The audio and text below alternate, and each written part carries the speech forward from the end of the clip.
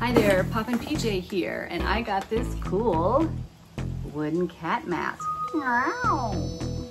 Wow. And we're gonna do something really cool with it.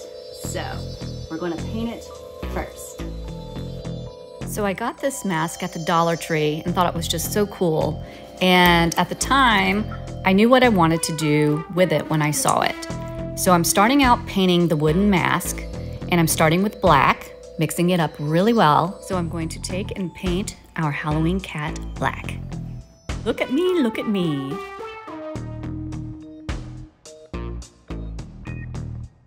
This is what we have so far, off to a good start.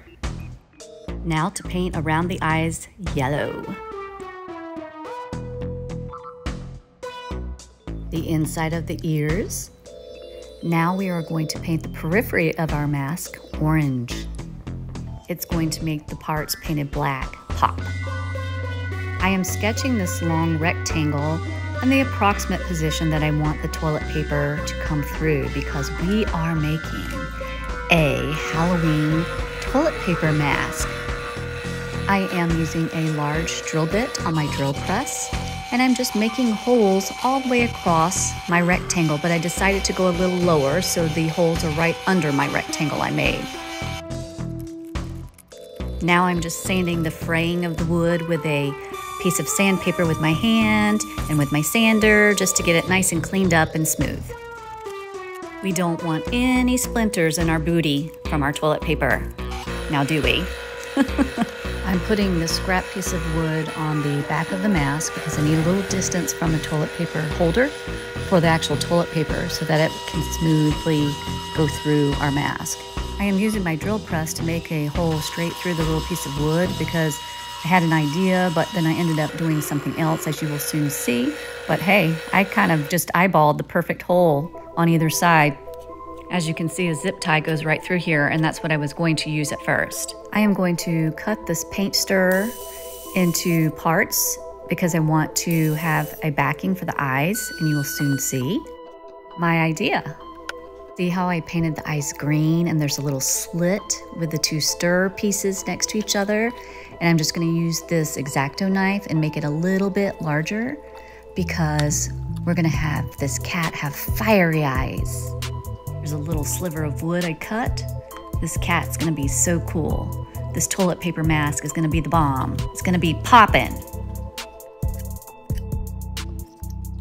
Next, I'm going to put this Velcro that has adhesive onto the paint stirrer.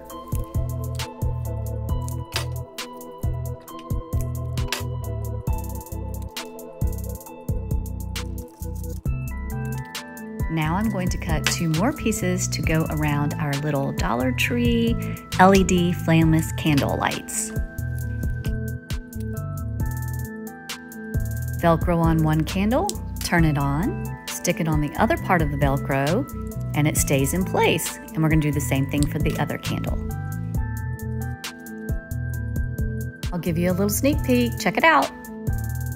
I had to build up our little piece of wood on the back of our kitty um, to have more room for the toilet paper roll. So I just put these pieces together with wood glue and now I'm just drilling holes and drilling in some screws. Two of the screws I'm going to leave sticking out so I can attach the toilet paper mask to the toilet paper holder. Here are the two screws sticking out.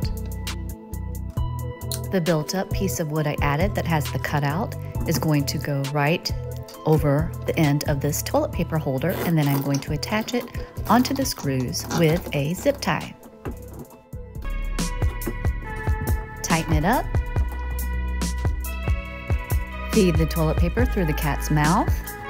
And look at this.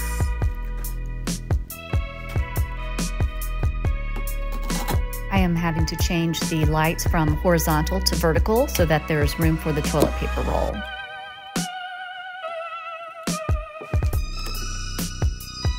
Toilet paper is ready to be used. Snip off the end of the zip tie so you don't see it. Pull the toilet paper out as much as you need. Turn off the light and this is what you got.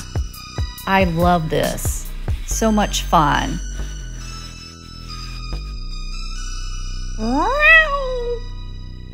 Happy Halloween!